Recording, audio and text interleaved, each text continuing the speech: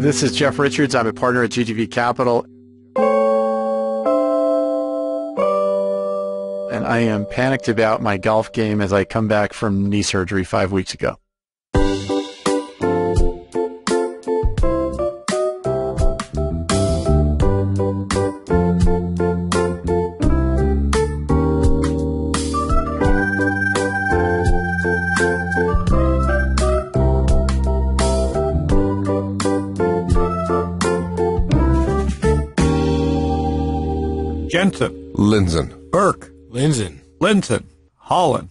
He just left. Hall and Oates. No, I wasn't talking about Hans. We're just naming random 70s bands. You are in the right place for people who are already confused. This is Panic with Friends, where me and my Norwegian pal, Knut, get together and we'll panic. What a year 2023 already is. And my life is, uh, you know, Knut, anything exciting going on for you? Not a ton right now. No, I can't say that. Yeah, so in my world, you know my world, right? Yes, Yeah, it's not fun. the fun world of Howard Lindzon. Howie The, Town. uh, in Howiestown, things are always sunny, but in Ventureland, whew, it was a it was the best of times. 2010, uh, the Uber days and the the AWS days and the Apple App Store days and Yeah. the cloud days, and now it's over. Knut. It's over. And now it's just us telling old stories about that cloud. Remember that cloud? Remember there was a cloud? People Yes. put their stuff in the cloud. And then things got bubblicious towards, uh, we didn't die in COVID. Well, some people died, of course. Millions died. But you and I didn't, and that's what matters. And Ethan was born. Ethan, what year were you born? I was born in 2002. 2002. Might as well be 2022. So you were you were gagged up and locked up, getting misinformation. You're all misinformed. Are you properly misinformed? Properly. properly misinformed. misinformed here in Arizona. And we came out of COVID, and God damn it, Knut, if we didn't just continue with uh, all the trends that happened, and to, so we had this. Why not have my friends on? Right. Panic with them, and we were right. You know, if if you're not dead, invest. And so one of my good friends, Jeff Richards, became one of our most popular guests. Then I just stopped calling him because it would just be, how much did we lose today? And so Jeff and I are very positive guys. Jeff Richards been on the show. I don't know what is he record. I think he's uh, four or five now. Yeah, so we've left him alone for a year because we're all just licking wounds and uh, repositioning for where the future is. And you know what? During this time of malaise, I just wanted to check back in with him. Jeff had knee surgery five weeks ago or something. Yeah. Yeah. Next is the hip. Uh, but, uh, you know, better his knees than mine, and we want to check in on that, see how he's doing. Um, they managed trillions of dollars, if not, if not trillions, billions. Um, I think last time we chatted, they closed on two and a half billion. So what do you do with two and a half billion and no one else? Uh, well, there's a lot of people writing checks, but where where is the growth? That's what the topic of today is, and I wanted to check in with my optimistic pal Jeff Richards. So, are we ready to get him on the horn? Yes, we are. Jeff, you're on. Good afternoon, gentlemen. You may it may be a record uh, appearance, but I'm not sure. So, um, is it? Well, I, you, I probably should just hold out. f- I should have held out for my next appearance when we're in the middle of another bull market. When, when would that be? Three to five years from now? Well, if you have some, if you have some gold technology, maybe, and some uh, uh, oil futures, the um, you've been through this before. I'm this is the first time as I'm like I'm old enough to appreciate other assets, but as my job is to invest in growth or the seedlings of growth, and it's kind of miserable out there. What what is it like? Well, I, man, that that's a good question. What is it like? I think I'm a professional podcaster. My job Yeah. is to ask good questions. Finally, You know, I, I think for those of us who've been, I was a founder in the dot com bubble. So I started a company in 1997, rode through the up of the NASDAQ. You were a founder, I believe, at that time. Uh, and then the down, the brutal down, you know, the next few years were, were pretty soul crushing, sort of 2001 to 2000, I don't know, five, I'd say. It was a pretty, pretty mediocre time in Silicon Valley. And then we started to see things perk up again. And then out of that came Facebook and Square and Stripe and all these amazing companies. So if you've been through a few of those cycles, uh, which I have, because we then we also had the great financial crisis, you always sort of go into a cycle like this, not knowing what the duration is, not knowing how painful it will be, but optimistic about what happens on the other side. And I find at least we're having a lot of those conversations. You know, we have a lot of founders who were in their early 30s, which means they were in high school Yeah. in the great financial crisis, uh, and and were, you know, getting a uh, what is the McDonald's meal with the toy in it that during the dot com bubble. So this is really the first time they've been through a protracted downturn, and we're only in what month twelve. Uh, Where do you count it as? 15? Yeah, it just feels like the duration. It's not possible that we could enter another bull market. I think it's going to take some time for this one to play out. I think inflation is a really difficult beast that most of us have never dealt with. Uh, I was a kid in the 70s, so I didn't really, you know, other than I remember waiting in line for gasoline, I certainly wasn't in the market at that point in time. But I think this is a difficult animal to tame. And, and even you see some of the smartest people in the world, you know, having a hard time with it. And so I think as a country, it's going to take some time to play out. And of course, everybody wants the quick V-shaped recovery we had in COVID where the market tanked in March. I think you and I were chatting. You could have thrown a dart at the wall in, in middle of March of 2020 and, and made money 90 days later. I, I don't think we're I don't think we're in a quick recovery mode here. I think it's going to take time for this to work itself out. And higher rates, you know, have a lot of impact on the mortgage market, the real estate market, certainly on the tech economy. You look at just where valuations have gone. We could talk a little bit about that, but it takes time to work itself out. And so I think one of the hardest things we've been working through is just the psychology of this of this moment in time with founders in particular who were raising capital in 20 and 21 when as you know people were just throwing money at anything that moved and was growing. That is not the case today. Uh, I, I would argue that the numbers that get published uh, you know across various media sources are really inflated in terms of the actual funding that's going on. There is not a lot of new funding outside of some of the things that are happening in generative AI that, that's happening right now. It's a really challenging time for founders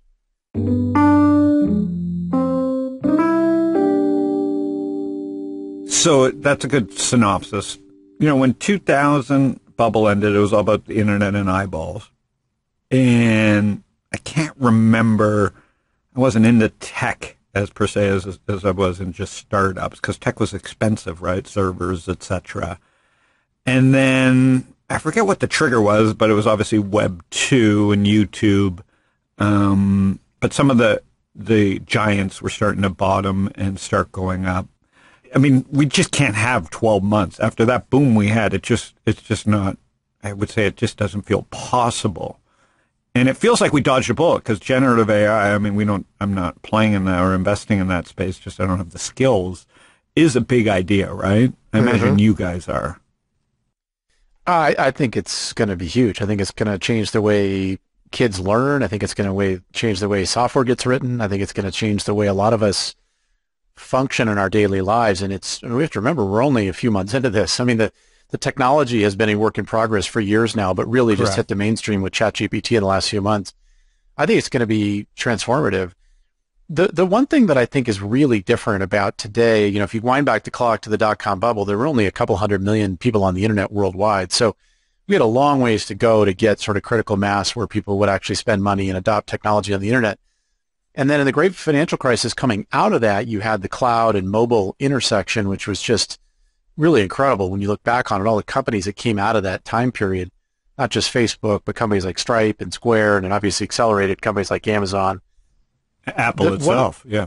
Yeah, and, and I was going to say one of the challenges we have now is I think the distribution models are very constrained. Yeah. Apple, Google, Facebook, They control the Microsoft. pipes. The pipes they control it. Yeah. So, you know, when was the last great social network launched? When was the last great mobile app launched? I mean, you think about the things that we use today, Snapchat, uh, you know, Twitter.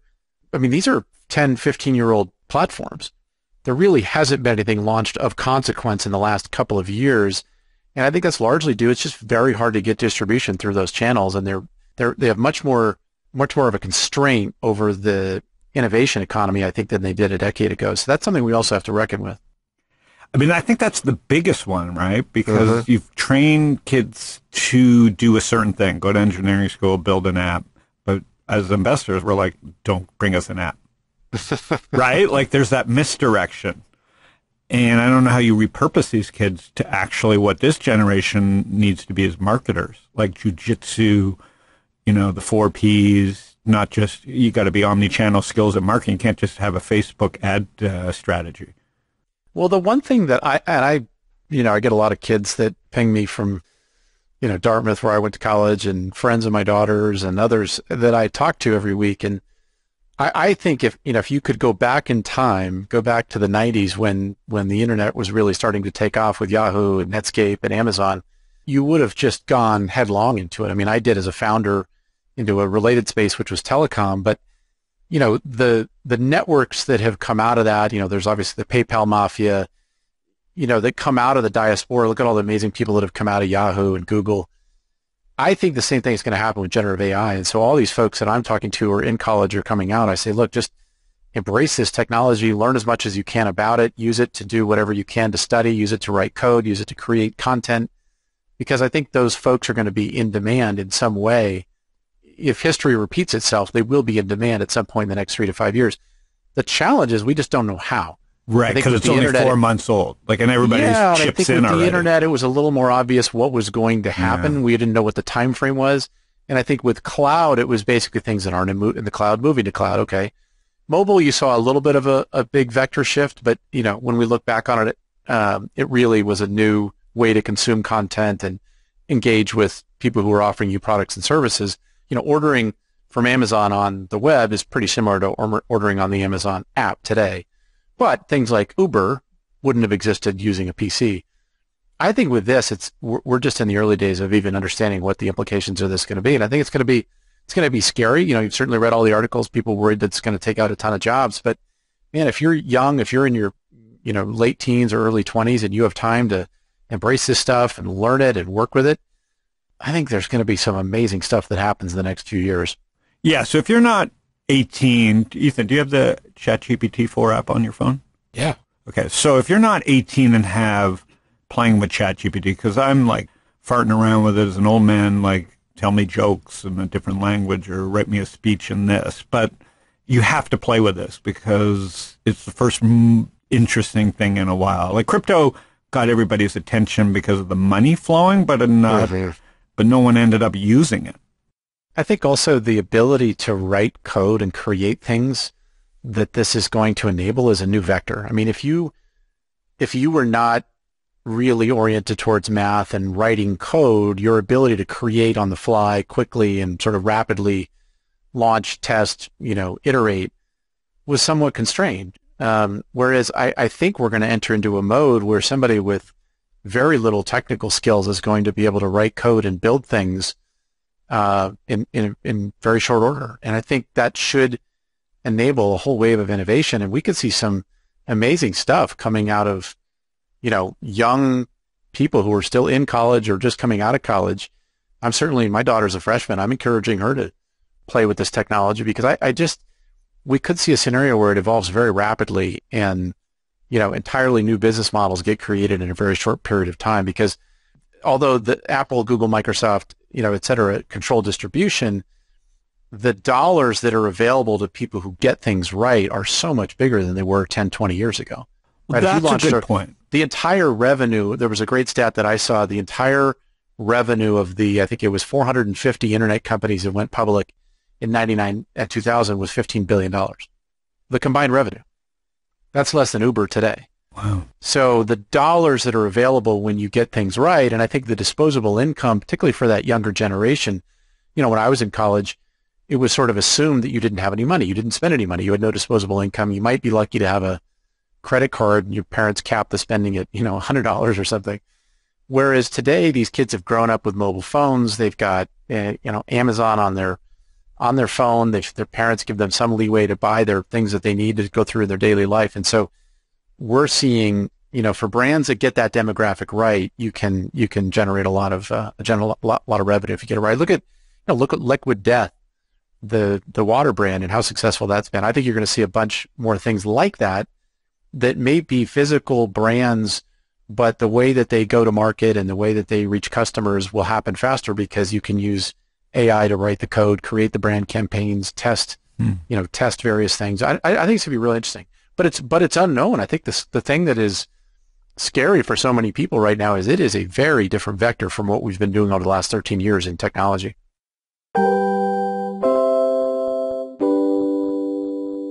No, and that's what's scary to me. You know, my son who who found golf, right? So he's not on the rails anywhere, right? And, and meaning he didn't he wasn't a systems kid and hated the system in many ways. The system spit him out. And then there's my daughter who followed the system and now is living the Zoom life in Manhattan. I'm like, get off the system, right? Like, go take a year off, luckily, and like recalibrate. Like just because, you know, if you're in that pre 2022 boom era, I think everybody's kind of mispositioned because they're playing with the wrong toys because distribution is held up by Apple and Google. Like if, if I'm going to go spend my money to rise in the App Store, it's just not a good it's not a good use of time when Apple can change their terms of use or their will at, at any time.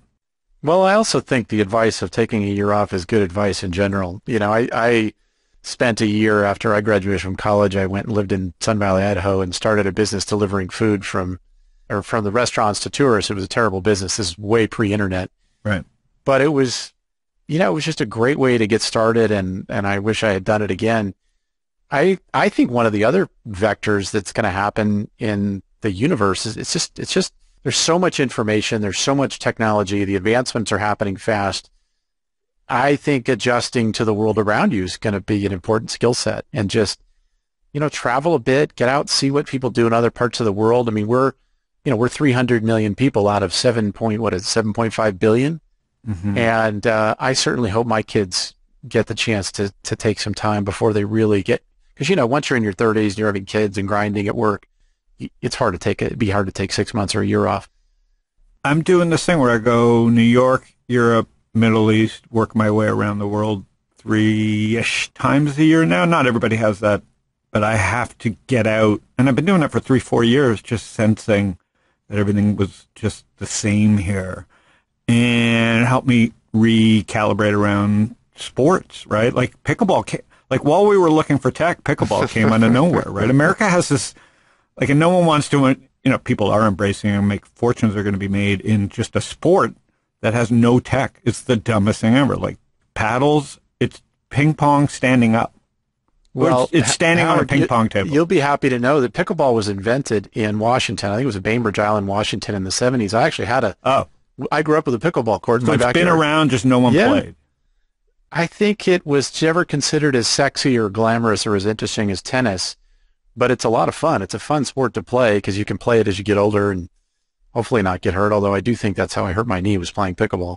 Oh, interesting. That's a different. That's a different story. well, when you watch tennis, and I get a lot of clips now on Instagram. I, I mean, Instagram for me is just uh, seems like it goes from golf clips. I don't even play tennis, but you know, you clip on one great tennis, uh, new talent in tennis, and it literally looks like ping pong. These guys are so good; it looks like So they're playing ping pong. yeah, And so really it good. made sense that it's so unachievable that someone would have to reimagine the game because when you watch the greats play tennis now, it's like they're playing. It's like a sport you can't even remember. Well, they they're six foot eight and they hit 140 mile an hour serves. I mean, it's a different game. But they're tracking everything down. The Yeah. angles are insane. The attack mode is always on. You know, they've just perfected the speed. I don't know. So it's fascinating. And the same thing, I like I said, I've been going down this par three rabbit hole because golf's the same thing. Once you put a driver in everybody's hand and it becomes, you can't play college golf unless you hit it over 300 in the air. You just cut out 99% of the population over one feature. Remember Knut? When we had drivers, the Big Bertha, it was just the beginning. I know. It really was. Like there were, ti you know, hitting a driver 220 with a balata ball was insane, right? Like you were limited out on tech, and then they unbundled the tech from the game, and now, so you have to reimagine the game, the parameters of the game. So and there are right. Ti- Isn't Tiger doing some sort of uh, Tiger's it's launching? too techy. I think this is the one. Like, Isn't this thing like a par three with sort of the, some of the same features that Oh, Top he- Golf has? Yes, so he's, he's doing- something. He's doing PopStroke, which is actually a really good idea. Yeah. Because it's just reimagining Goonie golf for kids. Yeah, Um, but you need a lot of capital to get into that. That's a real well, he's got a lot play. of capital. yeah, but but for the people that don't have capital, golf will find a way. Meaning, you know, no one has five hours. Uh, I haven't even talked you through the one that we're doing in, in par three golf, but a lot of stuff will get reimagined, then tech will get infused. So I'm on this big idea that things should be tech infused. Is that something that GGV would do, or you have to, because of the dollar amounts, you have to go full tech? We're pretty, you know, we're pretty focused on things that are pure software, pure technology, high margin, ideally high growth, you know, global. We love themes that are global. You know, and, and, I'd say we're having been, we're, our firm is 23 years old. We were founded in 2000. And so we've invested in good markets and bad markets. And, you know, the, the Warren Buffett saying, uh, invest, be greedy when others are fearful. I mean, that is, that is the model. I think the challenge that we have right now and everybody has is just human nature. When the market is sort of in a little bit of a funk, it's hard to want to put capital to work. And what we have done over the last year and a half is really try to double down on the founders that we love, double down on the businesses that we love, offer capital to more to people who need more runway that have a really exciting company that, you know, maybe seeing the same headwinds that everybody else is. And again, I'm having a lot of conversations. I just had one this morning with a CEO who was lamenting longer sales cycles, lower NDR, and I said, you're in traffic commenting on the traffic. I mean, everybody else is hmm. experiencing mm. the same thing you are right now. And that's a hard thing to get your head around when you're you're used to winning, you're used to being successful, and you're just coming off of two or three years of sort of record growth where you really never saw any headwinds. And so I think the biggest challenge right now in software is everybody is feeling the headwinds of, you know, layoffs among big tech, so they don't need to buy a ton of new software for new hires because they're not hiring anybody. Um, it's hard. It's it's just a hard environment to get your head around. And I think the most important thing for folks that have been doing it for a while, they know that eventually it gets good again. But if this is your first cycle, it's hard. It's pretty unnerving. You don't know how long the, the snowstorm is going to last. So that's on the founder side. Good stuff. On the VC side, tell, tell people what's ahead for them when DPI starts to matter and, and walk me through how you think about DPI versus IRR, like as a firm. What, what, what should both LPs think about and what are venture capitalists really supposed to think about?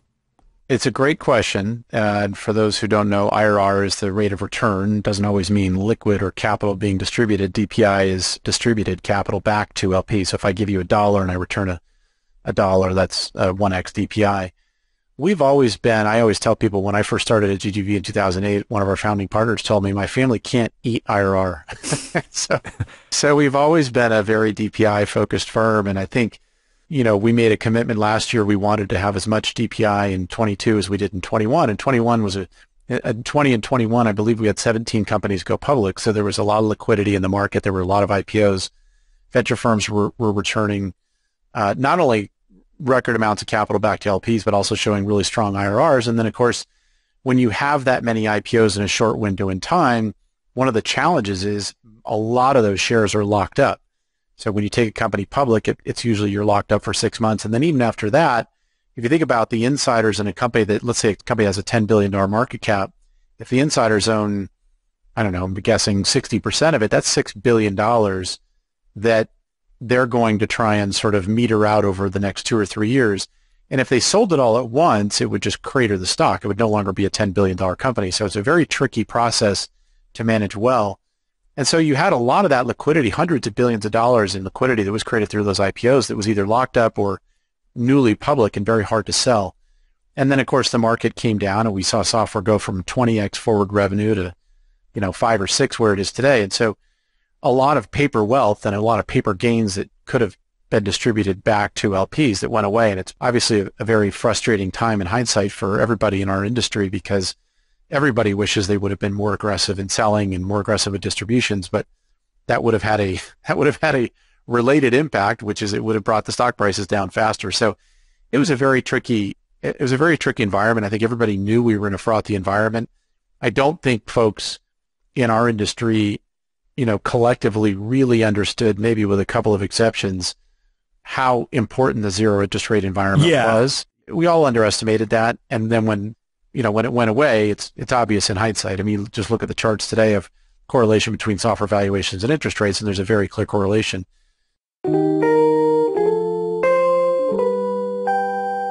So it's been it's been a challenging, I'd say, uh, 18 months. Yeah, so I used to joke about it as I tweet as I was doing things, going, "Well, this is the me doing it is the top." Right? And COVID, COVID, you know, when we started this podcast and you were gracious to come on early, it just seemed obvious. The, the show's called Panic with Friends. So it seemed obvious. What seems obvious today? Is there anything that seems obvious, good and bad? Well, I think uh, I'll give you one obvious one, which is just there was an entire category of fintech companies created around a zero interest rate environment. Hey, yeah. And when rates are at four or five percent, some of those business models just don't really make sense. And so what we don't know is are we going to go back to a two percent rate environment? We're probably not going to go back to zero anytime soon. So I think there were some categories where, uh, you know, even in the real estate property, you know, prop tech became very popular, and there are some business models that are very, very, very heavily correlated inter- interest rates. You know, you look at the, I still think we're in the early days of the correction in the residential real estate market because, you know, this regional banking, the challenges in regional banking coming out of the SVB collapse are just getting started. But, but 60% of residential mortgages in the U.S. come from regional banks. Mm. 60% and 80% of commercial real estate loans. So we're still in the early days of maybe some tightening around those credit markets, and that could really wreak havoc with the you know the real estate markets, particularly markets where in a lot of markets in California, for example, we have an extremely tight supply. It's very hard to build new homes or buildings in, in California. At least it has been historically. We'll see if that changes. And so that has always created this sort of constant march upwards in pricing. But in second home markets, if you potentially have the correlation between baby boomers aging out of those second homes and looking to sell them, Mhm. higher interest rates, higher cost to own, just, you know, matched with inflation and a, and a more challenging economy, I think you could see some really challenging things in those markets. So if you, you know, you know, there were a ton of companies created around prop tech and a lot of them didn't realize it, but they were built around a very low interest rate environment. So fintech, prop tech, um, you know, software, I think anytime you have headcount reduction broadly, technology, you know, the, the main buyers of software tend to be technology companies, telecom, banking, the government. Anytime you have a reduction or a flattening of headcount in those industries, you're going to see a slowdown in software buying, and we're definitely seeing that. The one category that's been booming is travel.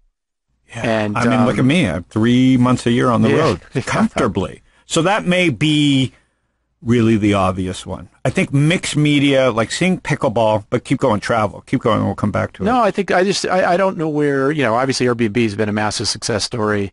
They did an incredible job. Let's not forget, during COVID, they almost died. Right. They did a billion dollar loan to survive. Yeah. So it'll be interesting to see if there's some new companies that come out of the travel space. Clearly, that's where people want to allocate their dollars. Again, the problem with that space is one of the largest advertisers in the world, the largest advertiser on Google is Booking.com. Hmm. I learned this through my investment in Hotel Tonight. Amazing company, Sam and Love. uh, I'm booking Jared. it tonight. I'm using yeah, it today. it's a great application, but you know, it got big enough to where Booking copied it, and it's tough to compete with a company spending billions of dollars a year on Google. So Got it. that's the only challenge you have in travel is the the sort of internet arbitrage that was there 15 years ago isn't really there. Those guys can build and replicate innovative uh, new offerings. Yeah. So travel at scale, you're not recommending, nor would I. I just think it's hard to get big. You know, Yep. it's hard to compete with those guys. If you get to 50 or 100 million of, of ARR, You're on their radar. yeah, you're on their radar. They've got more resources and they actually have a very technology savvy organization that can compete. So it's hard. Yep. You know, uh, what's obvious? It's, it's such a great question. What's obvious? I, I, I- Well, it's obvious what's bad. So you just pointed out like prop tech, fintech, you know, well, they're bad right now, but they're bad for the companies that were built in a zero interest rate Correct, environment. But correct. you and I both know there are going to be a whole bunch of companies that get correct. built in it's a, a, reformatting exactly. of prop tech. It's a reboot. fintech. It's Yeah, a reboot. Okay, so, So, you'll see wanted to go. companies that are built around this new interest rate 6% environment. interest rate. Yeah. Yeah. And, you know, we funded a company last year that is um, making it really easy to essentially use a credit card with a HELOC and sort of replacing high credit card interest rates. All, look at all the companies doing cash management now, offering, you know, I can get you, you know, my Wealthfront account now offers me 3 million FDIC insured because they put it across 12 banks.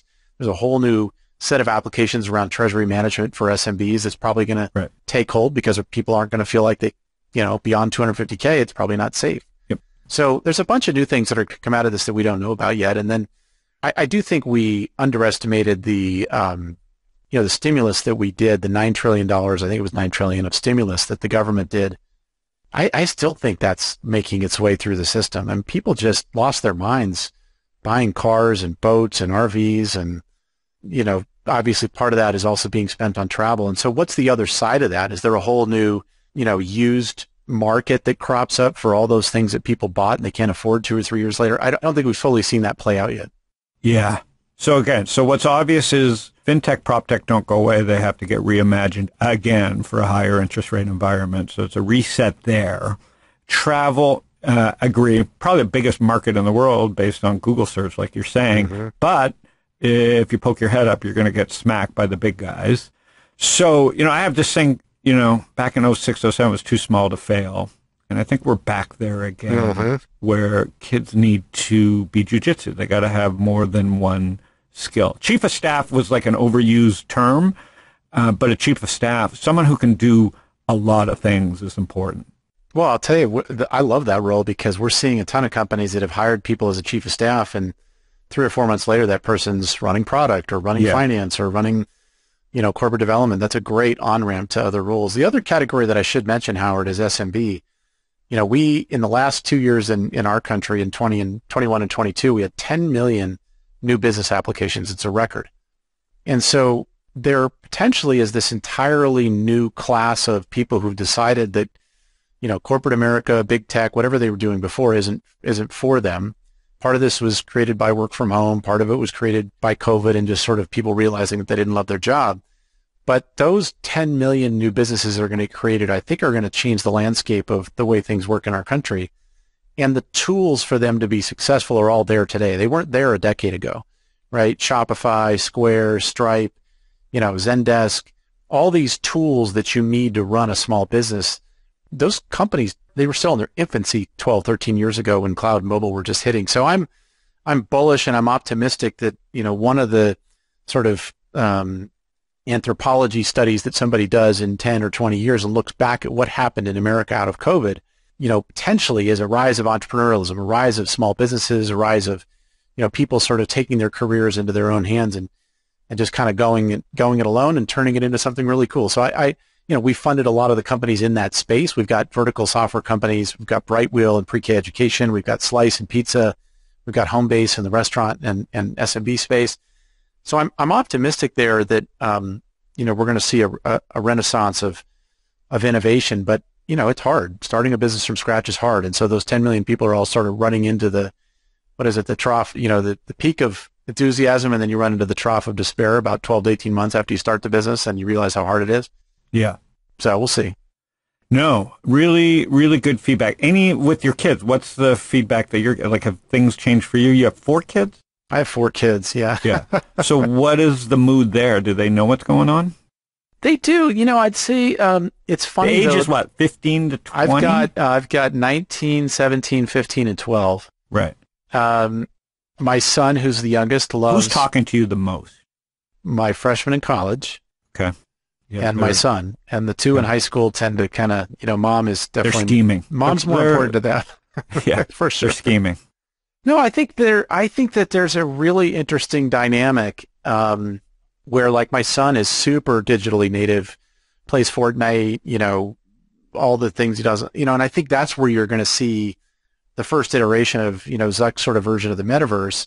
I don't think it's him wearing a headset, but it is him building his own things it within, you know, the gaming environment that he's playing in. He's very native. Crypto was easy for him to understand because very, it felt very much like the other things he was already doing inside of the gaming environment. Mm-hmm. So I think you may see that generation grow up with this really interesting, and again, back to our conversation about um, generative AI, you know, if he and people of his age can figure out how to use that and write code and build things, mm-hmm. they're going to be building their own games, and it's going to be it's just going to be a really wild experience to to watch it take off, and all the payment rails will be there, and you know everything else. I'm sure Zuck. Yeah, and it won't even cut. be in the media because they, you won't even be able to cover it. No one will be able to understand the scale of these things exactly because they're going to be decentralized at, at certain exactly. areas where no one will know. Exactly. Yeah, that's super interesting. So I think that's an interesting area. And then I'd say that the, um, you know, I was, we were just on spring break and I happened to, I was with my kids and we were chatting with some kids that are graduating from college. It's a little bit of a scary environment for those folks. They're coming out into a the first slowdown in the market that we've seen in a decade, and so they're nervous about what their job prospects look like. And I think we've got to, you know, I, I lived through that in the dot com bubble. We lived through it in 08, 09, and just got to realize that that is going to be really challenging for a lot of folks. And the mental side of that is hard, right? If you're coming out of college, you don't know if you're going to have a job, you don't know where you're going to live. It's hard. They'll power through it like every other generation did, but I think you're going to see a lot of articles and stories written about how it's a really challenging time for, for kids to be coming out of college. And then, you know, hopefully a year or two from now, things will be, we'll have big tailwinds and a bunch of new industries will be cropping up. Yeah, I mean the the last boom was about product, product, product because ship it because you could get it distributed for nothing. This so it led to this boom in people going, you know, to work inside a FANG company, which was not a bad decision, but maybe in the end a big misdirection. This next generation feels like they should be seeing the world, uh, thinking smaller, but also have more more multi skills than just coding. Well, I think back to that idea of those 10 million bit new business applications. I, you know, when I was coming out of college, I was sort of at the tail end of the, oh, go take a job at IBM, go work for, it wasn't called Accenture, it was Anderson Consulting at the time. You know, there was sort of this mantra of you went to work for Citigroup or I just don't, I don't see as much of that right now. I see kids, they've sort of grown up in this a little bit of a different environment. They want to go, and I hope they do. I hope they start things. I hope they try new things. Um, but it'll be interesting to see how that works out if we're in a down market for the next, you know, who knows, right? I mean, Powell could cut rates later this year and all of a sudden we're in an up market in 2024. So I think it's always hard to, you know, I don't want to be bearish over the long run and, and we're not bearish over the long run. We're, and we're, how do you think how do you, yeah, I know you're not bearish. So how do no. you think about size? What like if you were to if you're giving uh, advice to young investors and they wanted to, I mean, I've been telling kids for three years don't start a fund um, because DPI is going to matter. which you talked about, like you're not going to go raise your second fund on IRR anymore. That that game is over. Well, a couple things are happening in the market right now. We're seeing a lot of the early, the smaller, earlier stage funds that hold positions in some of these more valuable, you know, mid to late stage companies are now starting to sell those positions. So there's a pretty active secondary market, and we're seeing some of our larger LPs come in and be buyers of those shares, and huh. and you have some other funds that are buying those shares as well. So, you know, in any down market, you have people that need liquidity, whether it's in real estate or public equities or private. Um, so we're, we're definitely seeing that play out right now. I think one of the hardest parts, you know, we did not, at least on the software side, we did not make a lot of new investments last year because there was such a disconnect between the public market and the private market. It really didn't start to creep in. Reality didn't really start to sink in until Q4 and Q1 of this year. So it was actually hard to go buy, you know, even if we wanted to buy secondary shares in a company that was that we're really excited about, you know, kind of an iconic company that might be worth a billion or two billion dollars, but the last round was at 10 billion.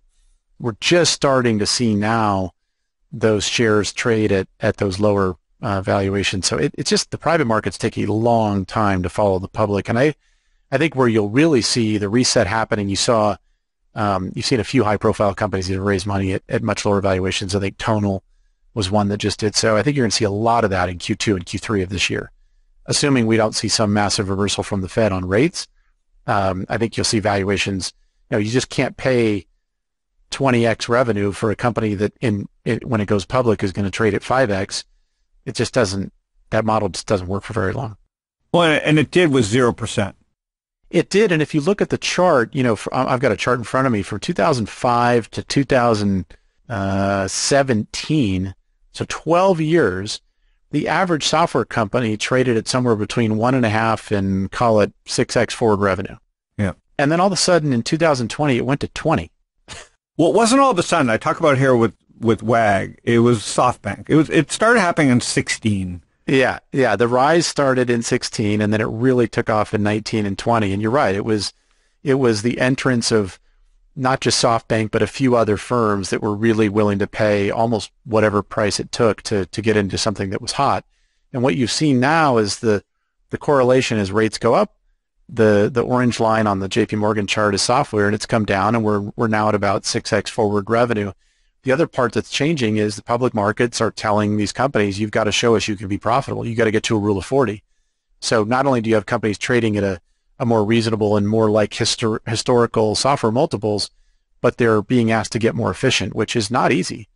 One of What's the, rule of 40 again for people just tuning in? Rule of 40 is basically growth rate and profitability. So you can, you can either have a growth rate of, of, of 40% and 0% profitability or 20 and 20 or whatever mix you want. Got it but it's just kind of a measure of like, is this company growing in an efficient and effective way?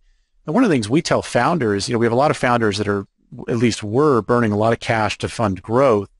It doesn't get easier to become more efficient when you get bigger, right? I think it does in some extent on the consumer side, mm. but on hmm. the enterprise software side, trying to retrain your go-to-market organization to suddenly be way more efficient on how they spend their capital to grow gets harder as you get bigger. Yeah. And the numbers get bigger, right? Growing 50% year on year, growing 50% from 2 million to 3 million, not that hard.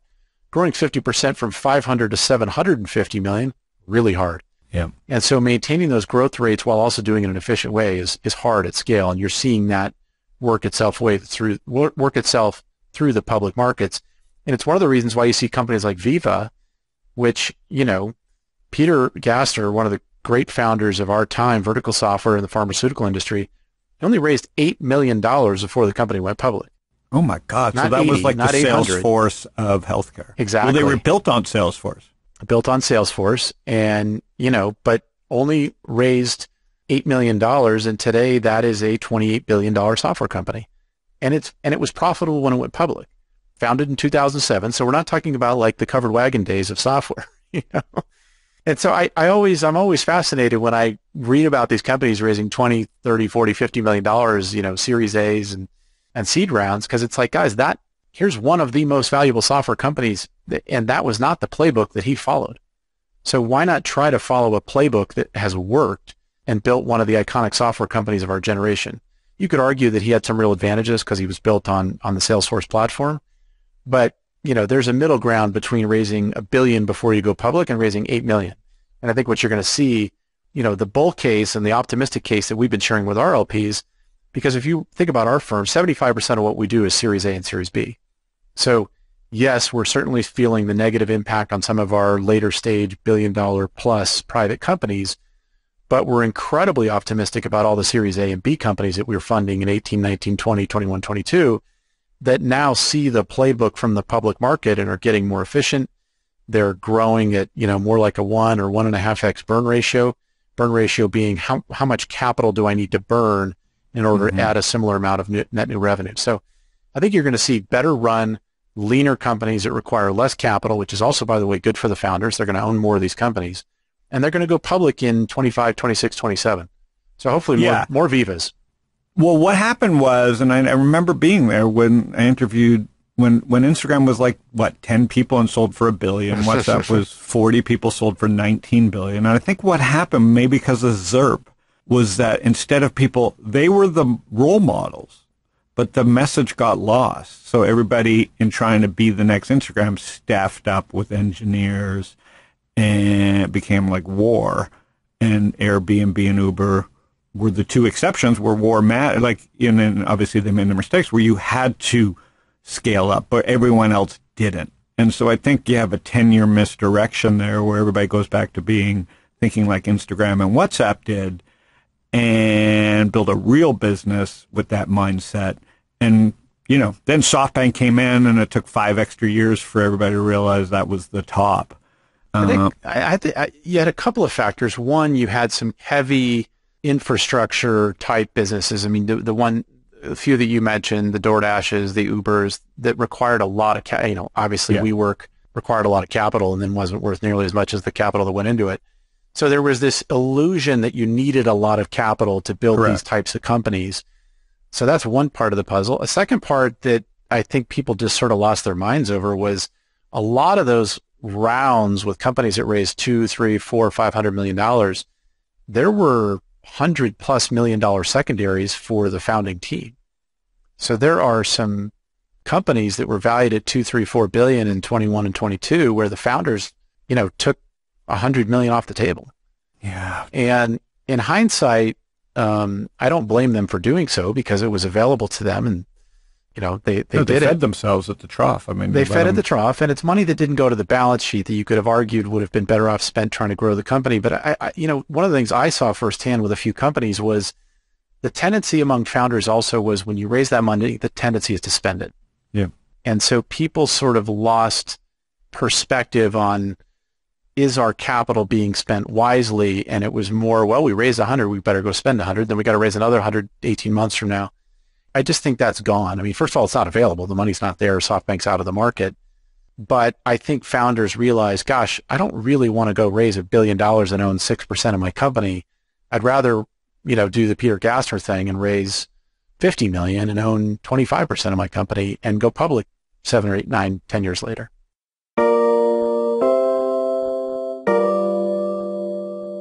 So the pendulum is switched. It sounds like GGV is again well positioned, but it's painful this transition because we just onboarded all these, I guess, people that just are playing a game that's already outdated, and they got to be retrained, reprogrammed.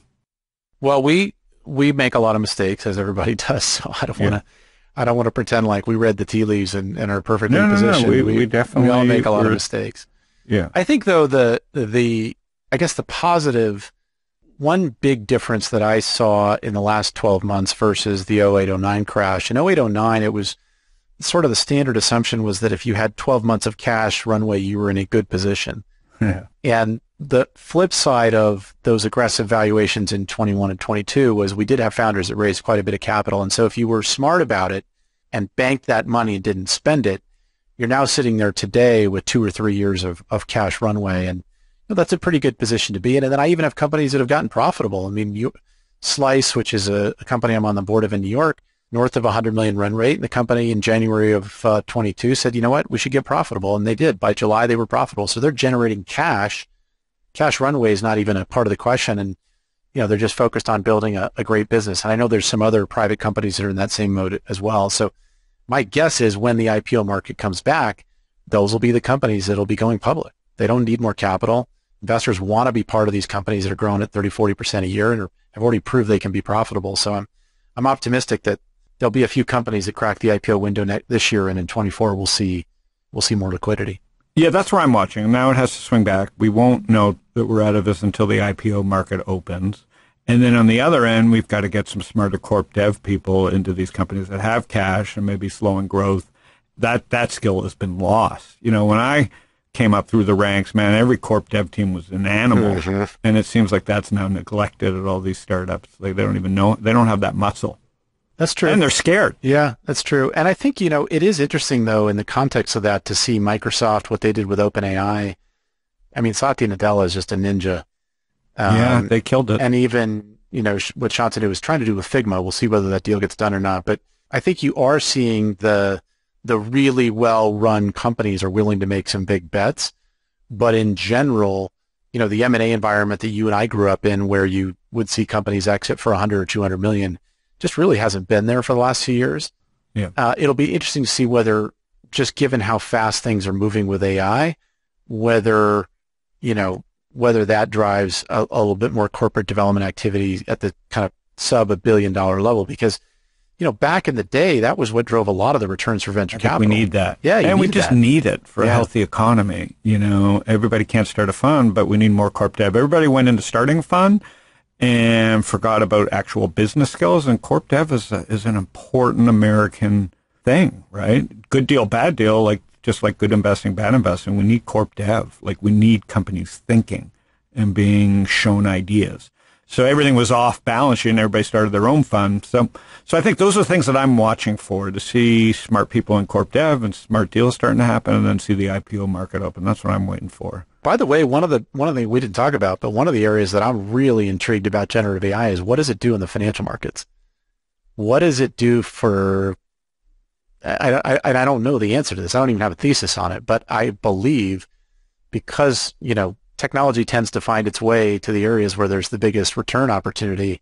I have to believe there are some very smart people working on some incredible tools with AI. Um, Yeah, now that everybody's connected, I still think that's why Musk will figure it out, even if the smaller Twitter, just in that they can move markets. So yeah, markets drive everything. AI will drive healthcare, markets, education. Those are the three neglected things. You know, crypto was supposed to fix all that, but really that was just a money rush. Uh, and we need some more. I, I don't know what it is. I haven't fully been in crypto, but uh, AI. You can see Bloomberg. You know, Bloomberg's been quiet for whatever. They haven't, they haven't adopted anything in 20 years, and all of a sudden they've got their GPT. They've already got their AI paper out. So yes, AI is real for finance. Well, the pace for the bigger players. I mean, Adobe's already launching products incorporating ChatGPT. I mean, the Yep. pace of adoption of this technology has to be the fastest pace of adoption of any technology in history. Yeah. So super bullish around what it means to finance just seeing Bloomberg act. Whereas they didn't act, they weren't ever scared of Twitter. They weren't ever scared of YouTube. They weren't ever scared of Robinhood. There's been no innovation that even made Bloomberg wake up. But then AI, boom. They're spending a lot of time there. They're releasing papers. Uh, makes sense. You know, that'll speed things up and it's it's the true innovation. I would hope healthcare, but that's regulation. So so so regtech is going to be huge around fintech and healthcare, and then obviously education. Like you said, kids are just going to do it themselves. If the teachers teachers have been left behind financially and just scope of work, but this is going to just exponentially kill you know old systems. Well, healthcare is one to be optimistic about. I mean, if we could Yeah. provide faster, easier, better access to healthcare for a broader set of the population, that would be an amazing thing, right? And th- yeah, this we're an investor. does. We're an investor like a, in like a snowflake in this space, which is One Up Healthcare, and it's just gr- you know they're doing what Snowflake did, but with medical, uh, with all the insurance companies. So it's like they're, they're doing the hard work of getting all those companies on board, and then the the, the size of accounts explodes. So there is hope, but that's that regulation and just Well, just look at how look at how inefficient the billing and payment process is in healthcare, and how Yeah. much of the time and money goes into that in that industry. I mean, it's what what is it? Um, a third of U.S. GDP or thirteen percent, some huge percentage of U.S. GDP is healthcare. And so when you talk to doctors or people that run hospitals, so much of it is billing, payments, invoicing, the regulatory process. And so if these LLMs can get trained to help solve some of that, oof, that would be amazing. Yep. So there is optimism. We'll end there. Thanks for doing this, my man. Uh, I'm glad you're doing well. And the knee surgery, how hard was it? Oh, it was fine. I had a t- I had my left knee done about 10 years ago, and I just had my right knee done, torn meniscus, partially from playing basketball, you know, for 20 years, but I think partially from just trying to be a little too active as I get older. But uh, I have not played golf since the fall, and I'm going to hopefully get out sometime in April as we finally get sun here in California. What I've learned about golf, especially as we get older, and we saw Koepka say that like he just couldn't play because he was injured. You can't enjoy golf if even it's like baseball players. You, if the smallest injury, and you're fucked because you you have to adjust, and then your whole swing gets fucked. So it's unfortunate. Like I'm learning that if you have an injury, golf is not a great sport. All right, great to see you. I'm glad GGV's doing well. Thanks for taking the time to kind of help us level set here. Always fun to catch up. I hope to get out and play with you at some point. You got it. We'll see you this summer. All right. Thanks, Howard. Knut. Yes, Howard. Ethan, you're a fan of Jeff Richards, a young guy. I am. He I found out about him. He waxes poetic pretty well. Yeah. Smooth thinking. There's uh It was a huge change for us, you know, to put all that money to work. And, you know, he was right about SMBs, but man, the valuations get everybody. right. There's just no way out with that much money in the end. I know you were right being conservative. For it being conservative, but you still, there's no, there's no not losing money. You know, when everybody uh, needs liquidity at the same time, just pent up uh, rush to the exits, and this is where we're at. So, anyways, thanks everybody for listening. Uh, that was Jeff Richards at uh, multi-billion dollar, uh, 23-year-old VC firm GG Ventures in the Valley and China and other places around uh, the U.S. Um, we uh, at Panic with Friends talk to people like Jeff, founders, entrepreneurs, venture capitalists, traders, investors to uh, try and uh, figure out where the markets are going and get a little bit ahead of some trends.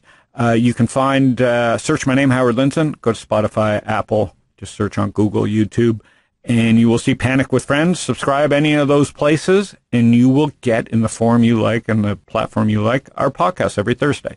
So uh, tell your friends, uh, hit subscribe, and we'll see everybody next week.